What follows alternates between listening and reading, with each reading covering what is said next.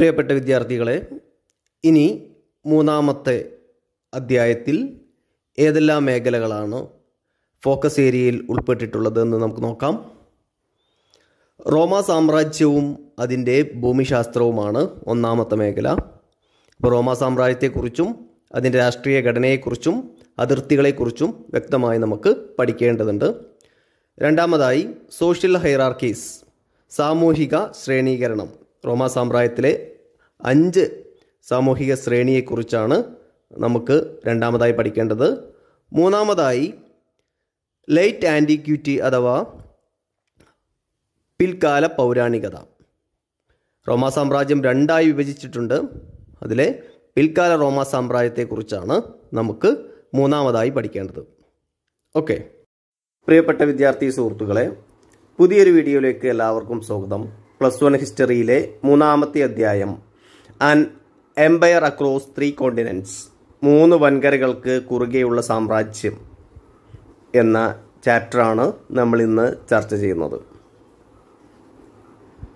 ഈ ഒരു ചാപ്റ്ററിൽ പ്രധാനമായിട്ടും ചർച്ച ചെയ്യുന്നത് റോമാ സാമ്രാജ്യം എന്ന പുരാതന കാലഘട്ടത്തിലെ ശക്തമായിട്ടുള്ള സാമ്രാജ്യത്തെക്കുറിച്ചും അവയുടെ രാഷ്ട്രീയ സാമൂഹിക സാമ്പത്തിക ചരിത്രത്തെക്കുറിച്ചുമാണ്.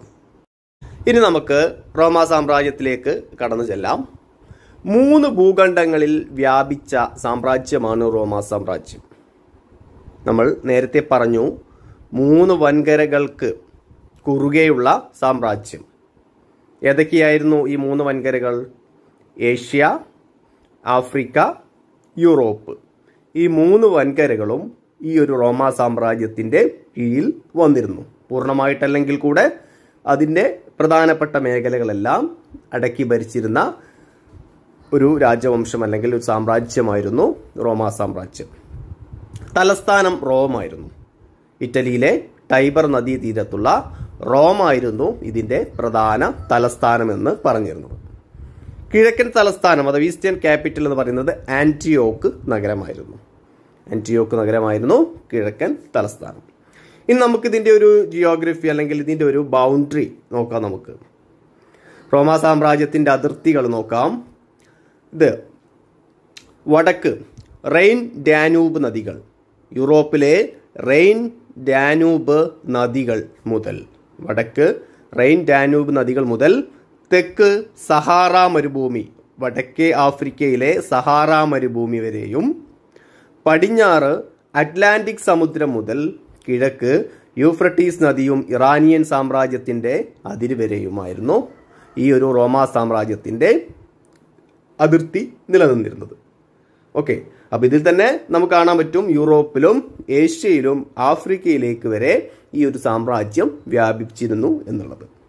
ഓക്കെ ഇത് പ്രധാനപ്പെട്ട ഒരു പോയിന്റാണ് മൂന്ന് വൻകരകൾ ആയിരുന്നു. ഈ വൻകരകളിലായിരുന്നു റോമാ സാമ്രാജ്യം വിസ്തൃതി വ്യാപി പടർന്നു പിടിച്ചിരുന്നത്. ഓക്കെ.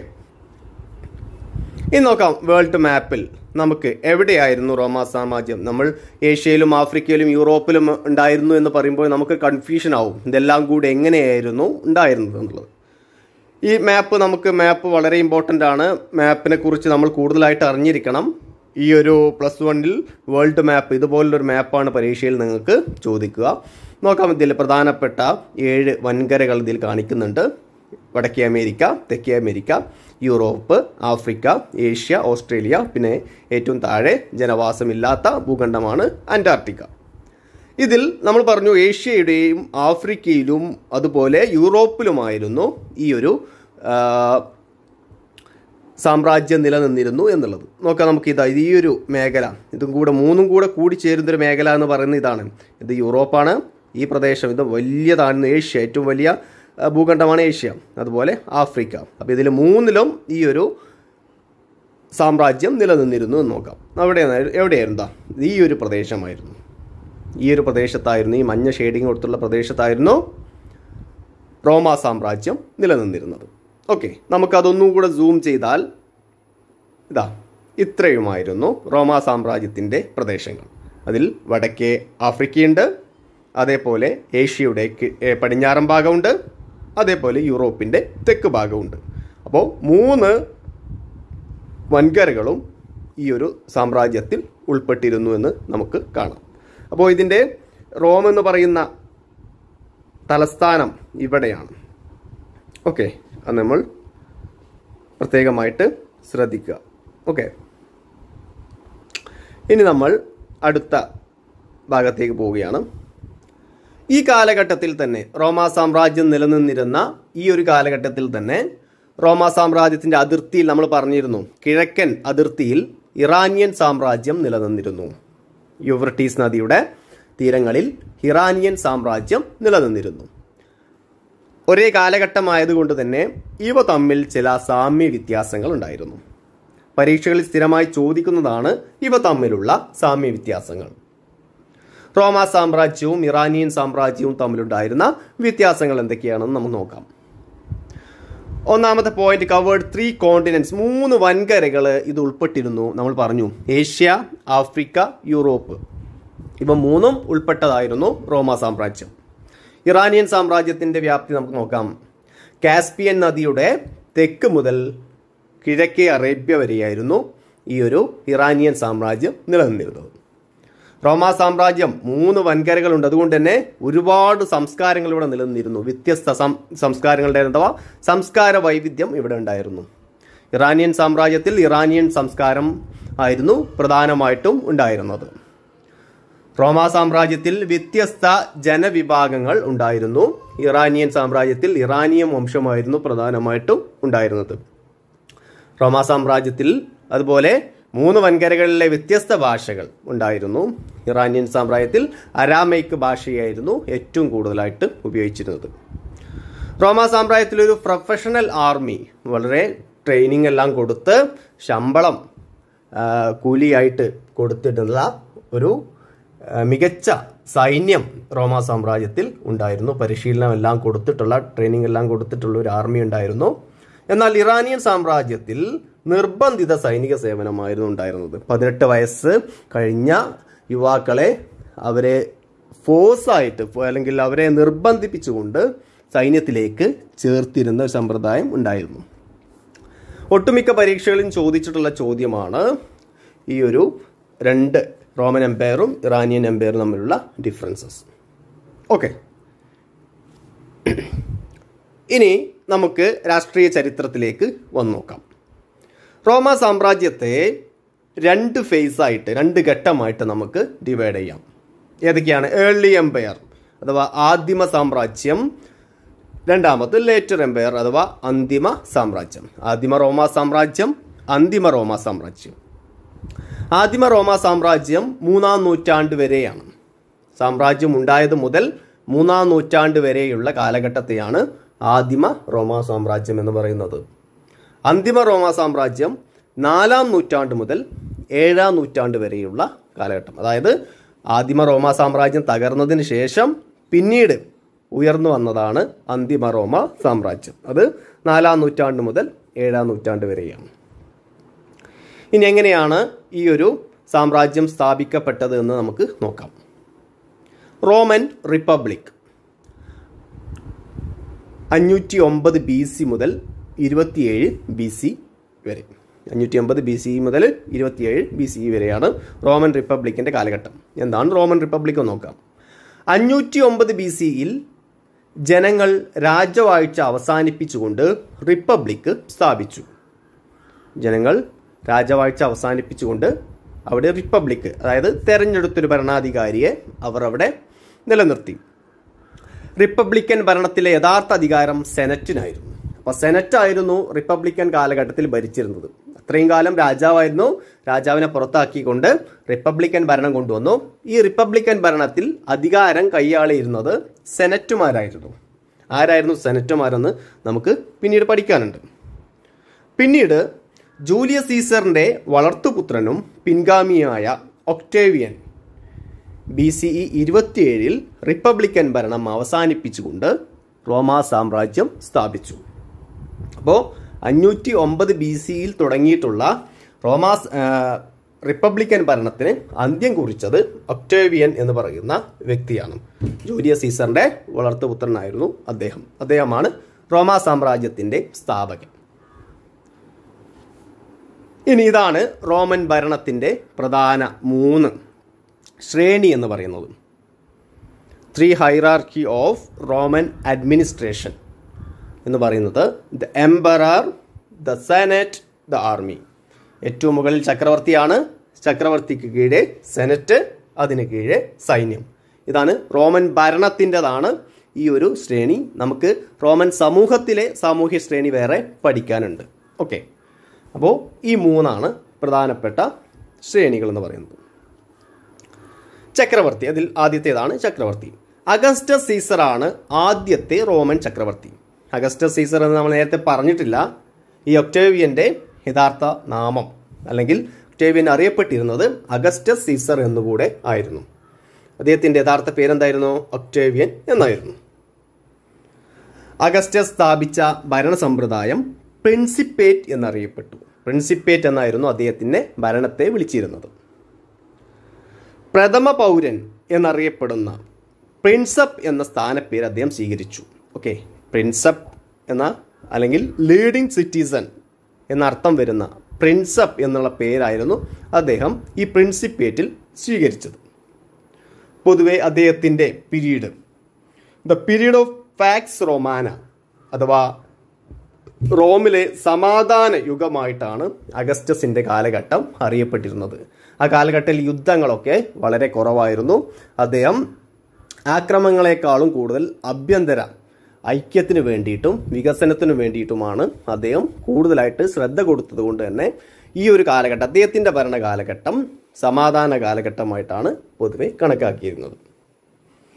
അദ്ദേഹത്തിന് ശേഷം അദ്ദേഹത്തിന്റെ ദത്തുപുത്രനായിട്ടുള്ള ടൈബീരിയസ് ആണ് റോമിലെ ചക്രവർത്തിയായിട്ട് മാറിയത്. അപ്പോൾ ഇതാണ് റോമൻ ഭരണത്തിലെ ഒന്നാമത്തെ ശ്രേണി ആയിട്ടുള്ള ചക്രവർത്തിയെക്കുറിച്ച് പറയാനുള്ളത്. ഇനി രണ്ടാമത്തെ ശ്രേണി നമ്മൾ പറഞ്ഞു എന്താണ്? സെനറ്റ്. ഈ സെനറ്റിനെ കുറിച്ച് നമ്മൾ കുറച്ച് മുമ്പ് പറഞ്ഞിരുന്നു. റോമൻ റിപ്പബ്ലിക് ഭരിച്ചിരുന്നതും സെനറ്റുമാരായിരുന്നു. അപ്പോൾ ആരായിരുന്നു സെനറ്റ്? റോമിലെ ഭൂവുടമകളും കുലീനന്മാരുമായ ധനിക കുടുംബങ്ങളായിരുന്നു സെനറ്റിലെ അംഗങ്ങൾ. അപ്പോൾ സെനറ്റ് എന്ന് പറയുന്നത് റോമിലെ സമ്പന്ന വിഭാഗമായിരുന്നു ഭൂവുടമകളായിട്ടുള്ള വിഭാഗമായിരുന്നു പ്രഭുക്കന്മാരായിട്ടുള്ള വിഭാഗമായിരുന്നു. ഇവരാണ് സെനറ്റ് എന്ന് പറയുന്നത്. സെനറ്റിനോടുള്ള പെരുമാറ്റത്തിന്റെ അടിസ്ഥാനത്തിലാണ് ചക്രവർത്തിമാർ പോലും വിലയിരുത്തപ്പെട്ടിരുന്നത്. അപ്പോൾ ഓരോ ചക്രവർത്തിമാരെ തിരഞ്ഞെടുക്കപ്പെട്ടത് പോലും ഈ സെനറ്റിന് ഇഷ്ടമുള്ള ആളുകളെ മാത്രമായിരുന്നു. സെനറ്റിനോട് എതിർക്കുന്ന ആളുകളെ അവർ അധികാരത്തിൽ വെച്ചിരുന്നില്ല. അവർ പുറത്താക്കിയിരുന്നു. അതുകൊണ്ട് സെനറ്റിന് താല്പര്യമുള്ളവരെ മാത്രമാണ് ഭരിക്കാൻ അനുവദിച്ചതും ദീർഘകാലം മുന്നോട്ട് പോകാൻ അനുവദിച്ചതും. ഇനി മൂന്നാമത്തെ റോമൻ ഭരണത്തിലെ മൂന്നാമത്തെ ശ്രേണിയാണ് സൈന്യം. സൈന്യം നമ്മൾ നേരത്തെ പറഞ്ഞതാണ് സൈന്യത്തിന്റെ പ്രത്യേകത. ഇതൊരു പ്രൊഫഷണൽ ആർമിയാണ് പ്രൊഫഷണൽ ആർമി എന്നതുകൊണ്ട് ഉദ്ദേശിക്കുന്നത് സൈന്യത്തെക്കുറിച്ച് ഒരു സൈനികനാവേണ്ട എല്ലാവിധ ട്രെയിനിങ്ങുകളും കിട്ടിയിട്ടുള്ള വ്യക്തികളുടെ കൂട്ടം. അങ്ങനെ പ്രൊഫഷണൽ ആയിട്ടുള്ള ആർമി ആയിരുന്നു റോമൻ സൈന്യം. ആസൂത്രിതവും ഘടനാപരമായിട്ടുള്ള ഒരു സ്ഥാപനമായിരുന്നു ഇത്. അതുമാത്രമല്ല സൈന്യം വളരെ ശക്തമായിരുന്നു. അതുകൊണ്ട് തന്നെ ശക്തനായ ഒരു ഭരണാധികാരിക്ക് മാത്രമേ സൈന്യത്തെ നിയന്ത്രിക്കാനുള്ള കഴിവ് ഉണ്ടായിരുന്നുള്ളൂ. അപ്പോൾ ഭരണാധികാരി ദുർബലനാണെങ്കിൽ സൈന്യം അദ്ദേഹത്തിനെ മിക്കവാറും അദ്ദേഹത്തിനെ ഇല്ലാതാക്കും. അദ്ദേഹത്തിന്റെ അധികാരത്തിന് പുറത്തേക്ക് അവർ വളരും. അതുകൊണ്ട് തന്നെ ശക്തനായിട്ടുള്ള ഭരണാധികാരിക്ക് മാത്രമേ സൈന്യത്തെ നിയന്ത്രിക്കാൻ കഴിയുമായിരുന്നുള്ളൂ. ഓക്കെ അപ്പോൾ ഈ മൂന്ന് പ്രധാനപ്പെട്ട കാര്യങ്ങൾ നമ്മൾ ശ്രദ്ധിക്കണം. ചക്രവർത്തി സെനറ്റ് സൈന്യം. ഓക്കെ.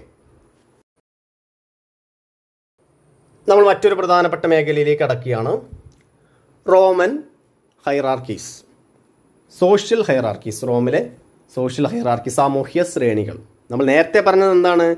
അവിടുത്തെ അഡ്മിനിസ്ട്രേഷണൽ ഹൈറാർക്കിയാണ്. ഇത് സോഷ്യൽ ഹൈറാർക്കിയാണ്. സമൂഹത്തിൽ ആളുകളുടെ നില എങ്ങനെയായിരുന്നു?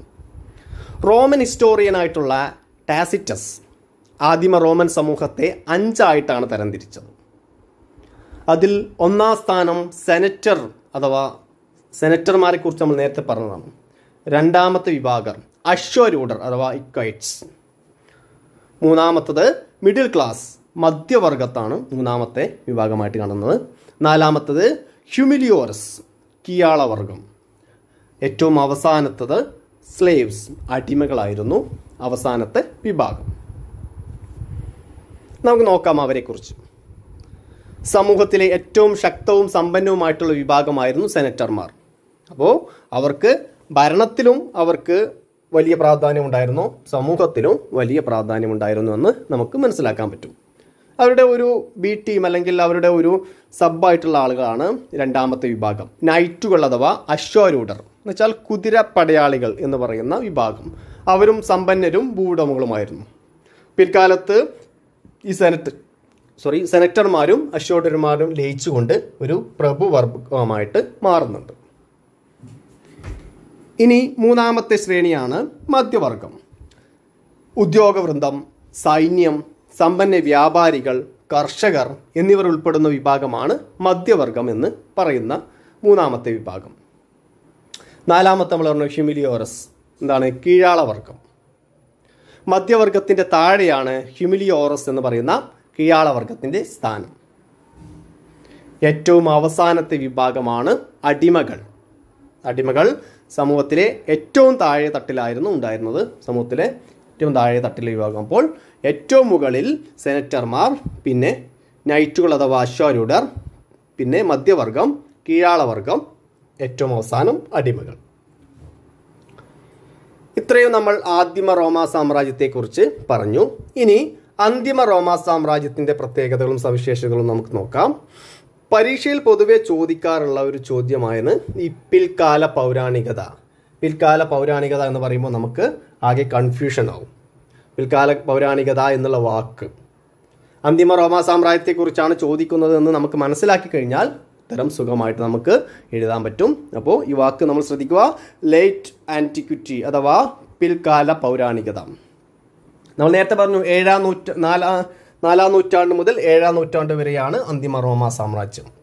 ഈ കാലഘട്ടത്തിൽ പ്രധാനപ്പെട്ട മാറ്റങ്ങൾ കൊണ്ടുവന്ന രണ്ട് പ്രധാനപ്പെട്ട ഭരണാധികാരികളാണുള്ളത്. അതിൽ ഒന്നാമത്തെ ആളാണ് ഡയോക്ലീഷ്യൻ ചക്രവർത്തി. അന്തിമ റോമ സാമ്രാജ്യത്തിലെ ഏറ്റവും ശക്തനായിട്ടുള്ള ഭരണാധികാരിയാണ് ഡയോക്ലീഷ്യൻ. അദ്ദേഹം ഒരുപാട് രാഷ്ട്രീയ പരിഷ്കാരങ്ങൾ റോമിൽ കൊണ്ടുവന്നു. അദ്ദേഹം ചെയ്ത പരിപാടി രാജ്യത്തിനുള്ളിൽ നടത്തിയിട്ടുള്ള ഒരുപാട് പ്രവർത്തനങ്ങളാണ്. അപ്രധാനമായിട്ടുള്ള സ്ഥലങ്ങൾ ഒഴിവാക്കിക്കൊണ്ട് അദ്ദേഹം എന്ത് ചെയ്തു? സാമ്രാജ്യത്തിന്റെ വലിപ്പം അദ്ദേഹം കുറച്ചു. കാരണം മൂന്നാം നൂറ്റാണ്ടോട് കൂടി മൂന്നാം നൂറ്റാണ്ടിലെ പ്രതിസന്ധിയോട് കൂടി ആദ്യകാല റോമാ സാമ്രാജ്യം അവസാനിച്ചു.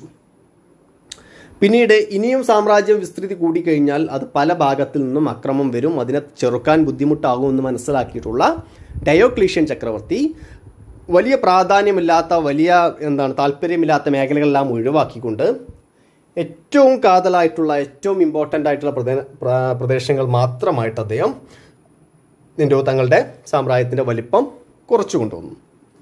അതുമാത്രമല്ല സാമ്രാജ്യത്തെ പ്രവിശ്യകളായിട്ട് അദ്ദേഹം ക്രമീകരിച്ചു. ഈ കുറഞ്ഞ ഏരിയ അദ്ദേഹം എന്ത് ചെയ്തു? കോട്ട കെട്ടി സംരക്ഷിച്ചു. അതിർത്തികൾ മൊത്തമായിട്ട് അദ്ദേഹം കോട്ട കെട്ടി സംരക്ഷിച്ചു. തന്റെ രാജ്യം സംരക്ഷിക്കാൻ വേണ്ടിയിട്ടുള്ള ശ്രമവും അദ്ദേഹം നടത്തി. ഇതാണ് ഡയോക്ലീഷ്യൻ ചക്രവർത്തിയുടെ പ്രധാനപ്പെട്ട സവിശേഷതകൾ.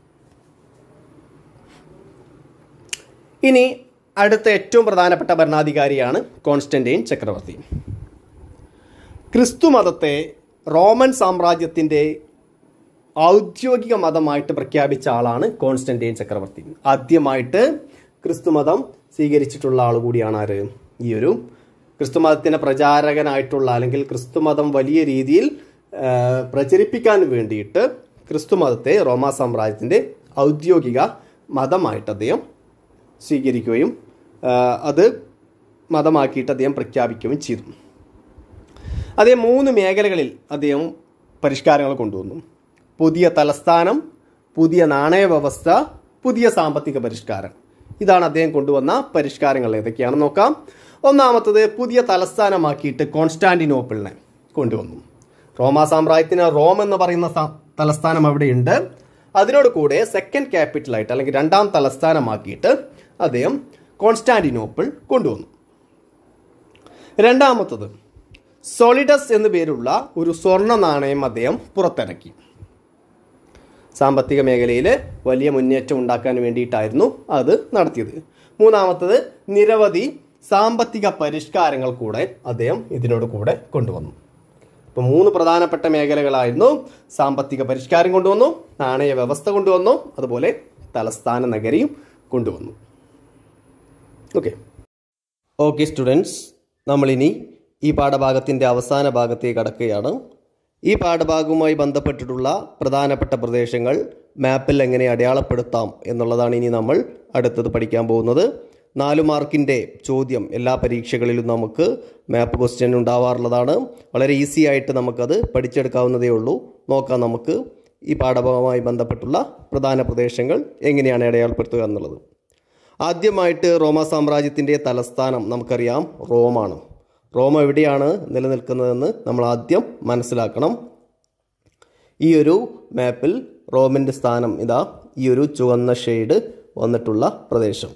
അവിടെയാണെന്ത്? റോമ സാമ്രാജ്യത്തിന്റെ തലസ്ഥാനമായിട്ടുള്ള റോം സ്ഥിതി ചെയ്യുന്നത്. ഓക്കെ ഇറ്റലിയിലാണ് റോം സ്ഥിതി ചെയ്യുന്നത്. ഇനി അടുത്തതായിട്ട് നമ്മൾ ഈ ഒരു പാഠഭാഗവുമായി ബന്ധപ്പെട്ട് പഠിച്ചതാണ് റെയിന് ഡ്യാനൂബ് നദികൾ. റോമ സാമ്രാജ്യത്തിന്റെ ഒരു തലസ്ഥാനത്തിന്റെ അതിരായിരുന്നു റെയിന് ഡാനൂബ് നദികൾ എന്ന് നമ്മൾ പറഞ്ഞിട്ടുണ്ടായിരുന്നു. ഈ റെയിന് ഡാനൂബ് നദികൾ സ്ഥിതി ചെയ്യുന്ന പ്രദേശമാണ് ഇവിടെ നമ്മളിപ്പോൾ കണ്ടത്. ഈ ഒരു നീല വര. ഓക്കെ. അതിന്റെ തുടക്ക ഭാഗം റെയിനും പിന്നീടുള്ള ഡാനൂബുമാണ് ഇത് തമ്മിൽ എന്ത് ചെയ്തിട്ടുണ്ട്? കണക്ട് ചെയ്തിട്ടുണ്ട് കനാലുകൾ വഴി. ഓക്കെ. ഇനി അടുത്തത് റോമ സാമ്രാജ്യത്തിന്റെ കിഴക്കൻ തലസ്ഥാനം നമ്മൾ പഠിച്ചിട്ടുള്ളതാണ്. കിഴക്കൻ തലസ്ഥാനം എന്ന് പറയുന്നത് ആന്റിയോക്കാണ് ആന്റിയോക്ക് ഇന്ന് തുർക്കിയുടെ കീഴിലുള്ള പ്രദേശമാണ്. ആദ്യകാലത്ത് ഇത് സിറിയയുടെ കയ്യിലായിരുന്നു. ഇപ്പോൾ തുർക്കിയുടെ അടുത്തുള്ള ഈ പ്രദേശം ആന്റിയോക്കാണ് കിഴക്കൻ തലസ്ഥാനമായിട്ടുള്ള ആന്റിയോക്ക് സ്ഥിതി ചെയ്യുന്ന പ്രദേശം ഏതാണെന്ന് മനസ്സിലാക്കി വെക്കുക. ഇനി അടുത്തത് ഏറ്റവും പ്രധാനപ്പെട്ടുള്ളൊരു നഗരമായിരുന്നു ആ കാലഘട്ടത്തിലെ അലക്സാൻഡ്രിയ എന്ന് പറയുന്ന നഗരം. ഇത് വടക്കേ ആഫ്രിക്കയിലാണ് അലക്സാൻഡ്രിയ അലക്സാൻഡ്രിയയും നമ്മൾ അടയാളപ്പെടുത്തി കഴിഞ്ഞു. ഇനി അതുപോലെ മറ്റൊരു പ്രധാനപ്പെട്ട ഒരു നഗരമായിരുന്നു കോൺസ്റ്റാന്റിനോപ്പിൾ കോൺസ്റ്റന്റൈൻ ചക്രവർത്തി സ്ഥാപിച്ച കോൺസ്റ്റാന്റിനോപ്പിൾ അതും ഏകദേശം ഈ ഒരു ഏരിയയാണ്. ഓക്കെ. അപ്പോൾ ആരോ മാർക്കിന്റെ തുടക്കം എവിടെയാണോ അവിടെയാണ് നമ്മൾ ഈ ഒരു പ്രദേശം അടയാളപ്പെടുത്തേണ്ടത്. ഓക്കെ അപ്പോൾ റോം എന്ന് പറയുന്ന പ്രദേശം ഇതാ ഇവിടെയാണ്. അതുപോലെ കോൺസ്റ്റാന്റിനോപ്പിൾ ഇവിടെയാണ്. റെയിൻ എന്ന് പറയുന്നത് ഈ ഒരു തുടക്ക ഭാഗത്താണ്. ഡാനൂബ് ഈ ഒരു ഭാഗത്താണ് എന്നുള്ള കാര്യം നമ്മൾ മനസ്സിലാക്കി വെക്കുക. ഓക്കെ ഇത്രയുമാണ് ഈ പാഠഭാഗത്തിലെ പ്രധാനപ്പെട്ടിട്ടുള്ള മാപ്പ് സ്റ്റഡിയുമായി ബന്ധപ്പെട്ടുള്ള പ്രദേശങ്ങൾ. ഓക്കെ നിങ്ങൾക്ക് മനസ്സിലായെന്ന് വിചാരിക്കുന്നു. താങ്ക്